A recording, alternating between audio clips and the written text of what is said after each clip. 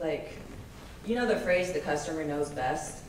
I think that that applies here in the sense that, like, you have to consult the community, you have to consult the people that you're going to be serving if you, if you want to serve them best, because they know what they need best in order to be their best. Um, as nice as it is to be called to the table and asked, hey, what do you think?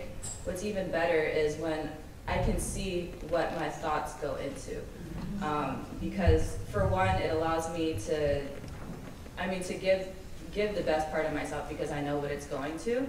But also, that just kind of, it, it reinforces the value of what I just did, being able to see that in either like a working product or a finished product.